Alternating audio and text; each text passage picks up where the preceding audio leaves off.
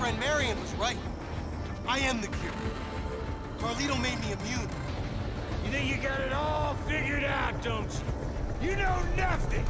Well, here's something I do know. There is no cure for this. Fuck you!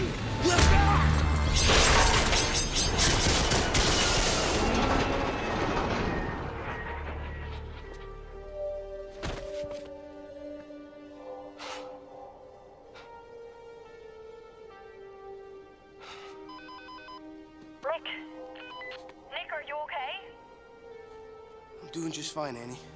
We're on our way, okay? Me and Dad. Then we have to pick up Isabela. She she went back to the lab to find something.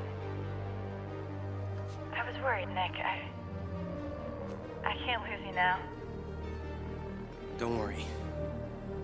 You won't.